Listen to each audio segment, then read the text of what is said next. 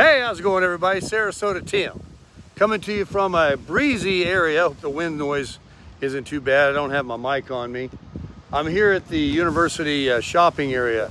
Last night, all of the lights are on. All the trees are decorated. Everything is finished. So tonight, uh, or one of these nights, hopefully tonight, I will uh, walk around and, and try to show you. I mean, there's gonna be a lot. It's, it's everywhere. It's all over, it's down the street. You can't just walk it, you gotta drive it. And I'll get out and walk some of it and show you guys really the best amazing Christmas decorations and lighting you've ever seen in your life.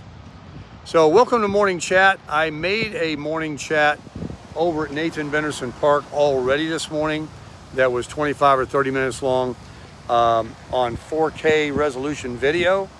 And it was at 1%. Uh, 10 minutes later, was still at 1% of uploading. So no can do. Those ones that I made down in the Keys were shorter videos and they apparently had good internet down there or something, but I'm not, I'm not picking up that. I'm not gonna wait two, three hours, nor do I want you to wait uh, when I wanna make a video and put it up. I want it up relatively quick.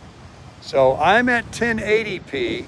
I'm still above the 720p uh, um, resolution, so this is still a little higher quality. This is high definition, but not 4K. And you know, you can only see 4K if you have a 4K TV or a 4K resolution on your phone, which most do today. So it is nice. Anyway, um, we got all the shopping area right here. I'm trying to find shade.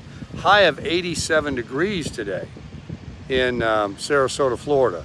So still warm, still warm they are putting together that big white roof down there. Ice skating. They had it, they have it every year here. It was across the street.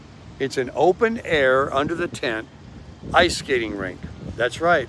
And there's so many people that do it and kids that, you, you know, there's really nowhere to go fast because a lot of people, unless you get there at a certain time, I guess.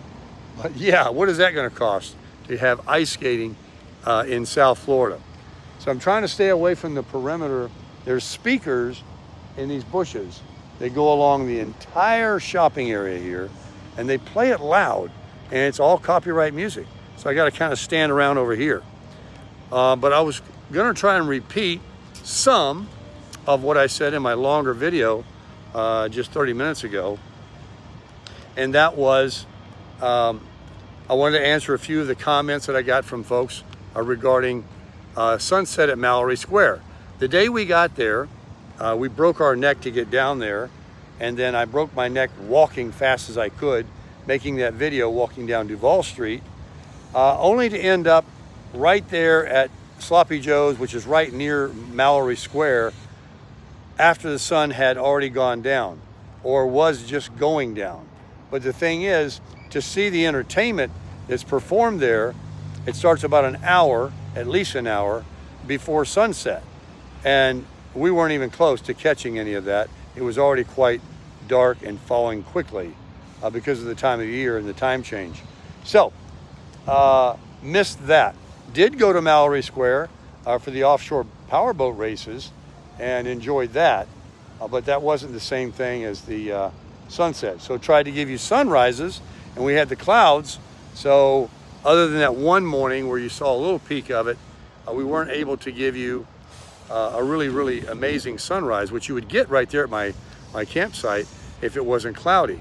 The day we left, it rained all the way out of the Keys up to Homestead. I couldn't believe it. And none of that was even forecasted. Now, while we were there though, it was nice. I did hear rain in the middle of the night though. So, but we had a great time. People are talking about uh, some of the cost. Well, that's really kind of a moot point, isn't it? I mean, it costs what it costs. And some people were saying you could have got a resort. No, you can't. if a campsite is $200, you know darn well that a resort, uh, you might be able to find some maybe average motel, but all the ones in Key West are pretty much resorts or Airbnb type things. Uh, uh, you call bed and breakfast and, and, and whatever. But no, they're not afraid to ask four, five, six hundred dollars a night uh, because they got people standing in line to do it. You're not going to stay in Key West in 2024 cheap anymore. And uh, the story I was given at the campground anyway was, uh, you know, since the since COVID, that's always their go-to answer. Since COVID, things have gone up. I'm like, well, hasn't been COVID in a couple of years, so why are you still charging? Not going to argue. It is what it is. I have no regrets. I had a great time. I was able to drive my new truck down there and find out what it's like uh, towing, and I want to briefly talk, uh, talk about that. The ball with this tilt thing, I'm not going to get into too much of it. Don't worry. Don't, don't start hanging yourself. The ball on the back of my pickup truck is at an angle. It's tilted out because of this kind of a hitch system I have called weight distribution. I'm done with it. I like the fact that it's got these bars that even the, the leveling out. Um, but I'm gonna have my ball, which is at four degrees now, it was at six, back to 90 degrees. Today, I'm going to the hitch place and telling them, unbolt it, screw it back on at 90 degrees. It'll take them five minutes. That part is the easy part. And I'm gonna go with that. Um, I called another trailer place and they said, yeah, you know, uh, but I've never heard of anybody, we just put them on 90 degrees. I said, yeah, but there's an adjustment specifically on these weight distribution hitches to move them. You know, what's it about? I think because the Ford F-250 I have is so stout and it's already so much higher in the rear than my Toyota Tundra, that, and that was at 90 degrees, that it doesn't need to be out or out any. I think I'm gonna go back to 90 degrees. Otherwise, it's near perfect the way it towed, but anybody ever tells you that you don't know something's behind you that's close to 7,000 pounds, like my trailer, uh, I don't think they're being completely honest because I knew it was back there. I, I take off at a red light. I know I got something behind me. I'm not just zipping away. And when big trucks go by me, or if there's any wind, and the fact that the camper itself is a big box uh, that makes its own, you know, it's not aerodynamic. It's not like a, a very aerodynamic shape. You know it's back there. And so there's a little bit of a, a little bit of this. I have my anti-sway thing on there, but I'm wondering if the weight, because of that ball, is making too much weight on the rear axle of my camper, as I have two axles, and not more forward or more tongue weight. Because without a camper, you see my truck, it's jacked up in the rear. It's jacked up. It's all jacked up on Mountain Dew. So I'm just gonna throw it on the hitch and if it does sag, I'll use the amount of links I need on those chains of those uh, black bars that go on there to level her. And I'm gonna be done with this weight stuff, this hitch stuff, sick of it. And um, I did drive uh, 65 miles an hour at the max on the way home, 63 a lot of the ways. And uh, I got nine and a half. I saw 10, but I ended up staying at nine and a half on the way home. I did try to take it up to 70 just to see if I was gonna get sway. I was experimenting. I even got off the freeway and took the, the arms down and put one less link hanging off. And I definitely saw a little bit of a difference. So that confirms that I need to uh, move that ball. Didn't I just say we're not gonna talk about this very long? All right, moving on. So now it's about traveling to Laughlin or somewhere else. All right, I could go to Jacksonville, I can go to Daytona, I can go up to Georgia, uh, Savannah, I can go a lot of places, right? But I, have been there. You know, when I used to have a motorcycle, I went there, that was a day ride when I lived in Atlanta. I've been to the Smoky Mountains so many times, I really don't have this burning desire. I went up there last October. You know, this was the anniversary, someone reminded me, the birthday, the first year anniversary of the Crasher. I bought it in October of last year. It's now November, of course. Uh, so it was a good anniversary um, trip. Uh, I also just enjoyed uh, myself and it was a bucket list thing because I had been talking about it to you guys. I wanted to share some of it. I'm sorry that in my limited, not even 48 hours really, that I had, I did want to spend some time at my camp. I did buy some um, expensive steaks to cook out and use my new grill. A lot of you have been wanting to have a grill video. Uh, I tried to do all I could in a short period of time. And to, to stay any longer, wasn't like I had to get back to work or anything. It was just I would have had to go and apply for another uh, loan at the bank, you know, because it wasn't cheap down there for sure. But don't get hung up on uh, asking how much it costs. There's a website you can go on. I did tell you what it cost, but it is what it is, you know, and uh, you know, you do you. If you don't want to spend uh, over $200 a night for an RV spot, then, then don't, don't go down there. But if you want to go down there, it's a long way to drive all the way back home or up to uh, Key Largo or somewhere where you can maybe save 50 bucks on a, uh, a room for the night or even an RV spot. I like the fact that I was there and it was only five miles outside of town, which was like five minutes. So I did it. Do I need to go back again? Well, it was many years since I was down there and the same thing happens every time you go. It's like, all right, been there, done that.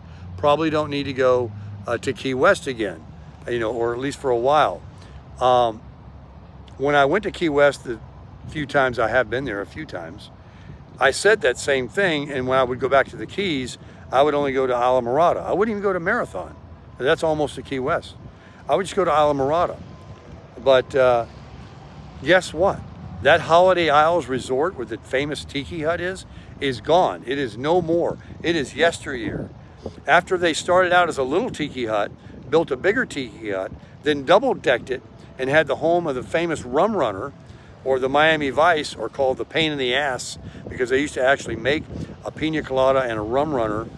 Uh, have to use two blenders and then you pour one in a glass, you pour the other in a glass, then you pour the other one in the glass, and the rest of the other one in the glass, and you have layers of, of white and red, right? It was called a pain in the ass because it was a pain in the ass for them to make. Then they came out with a Slurpee machine where they could just do it. They had the rum runner here and the pina colada machine over here, and they would just zip, zip. So they went through that. And then they started putting some like retail shops out there on the deck, on the, on the, on the pier of the Tiki Bar at Holiday Isles.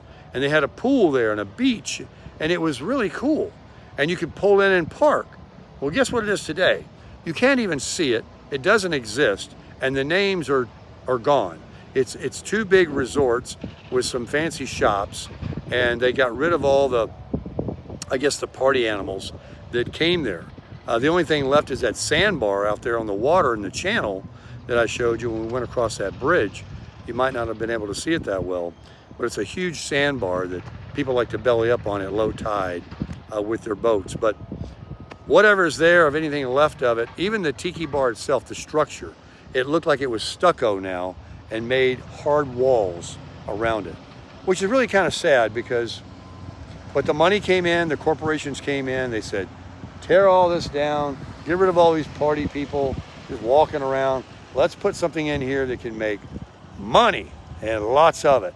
And that's what they've done. So at least I got to see it and experience it and also experience the growth of it when they double decked it. I remember when it was just one level of the famous Holiday Isles Tiki Bar. And they had big signs out there. You couldn't miss it when you drove up. I drove right past it uh, when we were going down, and then we looked for it on the way back, and uh, there's nowhere to park. You couldn't go in with that camper, nothing like that. So anyway, the Keys, uh, been there, done that. Probably uh, because of the memories I have, I probably don't need to uh, go again. But you can't believe a damn thing I say, right? But I had a good time and I'm back. And now I'm back here in beautiful Sarasota. All the lights are here. The Christmas lights are all done. All the trees are wrapped. See those palm trees over there? They're all wrapped, the palm fronds. And last night I saw them. And so I'm gonna have to get you guys a video what I've been trying to tell you about how amazing all the Christmas decorations are. The uh, trailer hitch, I gotta go and end this video because I'm gonna go get the ball put 90 degrees and my truck is still connected to the camper. I'm in the uh, CC Rider and man, was that nice to get in after driving that truck. I remember the days when I used to ride my Harley across country or up to the North Carolina mountains from Atlanta. And I would, um, I'd go so far, I didn't come home that day. I'd camp out somewhere and I'd ride and ride these long rides, you know, 500 miles a day when I went across country. I even went 600 miles in a day, uh, multiple days. And I would get back, and this is exactly what would happen. I, would, I didn't even want to look at her. I didn't even want to own it. I parked it. I, I didn't even want to wash it, nothing. Just get away from me. because my ass hurt so bad and I was in the saddle for so long and you know the fun was like over. It's very uh, you know taxing and arduous to stay in the saddle that long. And then what happened? 48 hours, 72 hours later, you go look at it. Oh man, what a nice looking Harley. I'm gonna ride that bike. and so that's exactly what the truck was like yesterday. Because it's it was basically like driving in the city of stop and go traffic. The traffic was, it was rainy. You had to stop that big trailer and it was um, 150 miles of the of the 350 was it it's more it's more like uh, whatever it is it's like half of it is city driving you know going down overseas highway that two lane road at 40 miles an hour 45 miles an hour catching red lights slow traffic in front of you uh, only two lanes watching everything as you go. It wasn't like a big wide open freeway and I'm traveling out to Laughlin wasn't like that and where you can go three, 400 miles and then pull into a place, a Love's or a, a campground and enjoy the, the night and, and do it again. So when I got out of it last night and got in the CC Rider and this morning, man, what a car. it was, it's a nice car and so easy to zip in and out around things. I can see why people get aggravated when they get behind me or any semi truck or another RV. They're like, come on, get out of our way. Because you got a car you can just zip around in uh, so easy. But anyway, uh, I'm glad I own that, that little car. And I think I'll keep them both because they're both very nice. And uh, today, like I said, I'm going to get off this phone now and go get my trailer hitch done. I want to, dad, gum. I might go buy a pressure washer so I can wash the rigs. You know, you can buy those for like $99 at Walmart or Home Depot or on Amazon. They're electric and you don't want anything. Here's a pressure washer guy right over here, but he could take paint off the primer. I don't want anything that cleans your driveway, you know, that's gonna tear my decals off. I just want something that can spray it off and reach up higher and maybe knock off some of those bugs. Uh, so I might just do that. Might look into one of them. Um, what else was I saying in that first video? This one's getting long now, 17 minutes. I gotta learn to put a timer again to make these videos quit. Uh, if this doesn't upload fast, it's gonna be back to 720p, folks. I can't deal with waiting forever for a video to upload. Uh, so we went over the keys, we went over the truck. I'm gonna get the trailer ball put back at 90 degrees. I'm going to really, really be considering uh, going out west and trying to get past the negatives, these monsters in my mind about Flagstaff, Albuquerque, and higher altitude places that are experiencing 20 degree low temperatures right now. Uh, I don't know whether they get snow blizzards or anything, but it's a short area that you go through on the interstate, you know, to get to Nevada. So, and I do have four wheel drive and um, it doesn't matter. There's not gonna really be any ice on that freeway. Could be on the road though.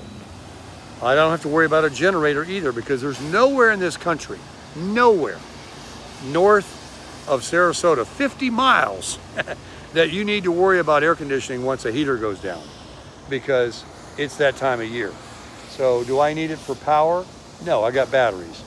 Do I need it for air conditioning? No, because I'm not gonna be in there during the day uh, that I need to worry about it. And if I go all the way up to where I'm talking about going, or I'm going to be somewhere during the day early and spend all day there, I can go to a campground that does have, you know, full hookups. So I might not even need to take the generator. Even though I've got a payload that can take it, I might take it. Maybe somebody wants to buy it along the way, I can sell it to. I've got some lithium batteries I want to sell too. Um, some uh, Bluettis uh, that I don't need. I've got four of them. And uh, one of them can actually power my my camper completely and the air conditioner for probably an hour. It's that strong. And so a lot of people are buying those uh, today uh, for their homes in case of a power outage and stuff like that.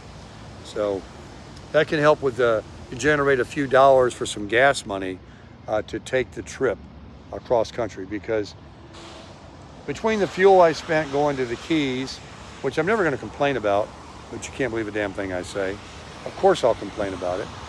Uh, between that and the cost of the RV park there for just two days, um, bit into, but I wanted to go somewhere and I wanted to try the truck out before I just take off to, you know, across the country. So I might want to liquidate a couple of things uh, to generate uh, the pocket cash necessary that it will be uh, to take a trip like that. But I certainly would like to go back, see my old buddies, play some golf, hit the Colorado River, hit the Planet Fitness, hit the Walmart, hit the Riverside Casino, go to the poolside over there.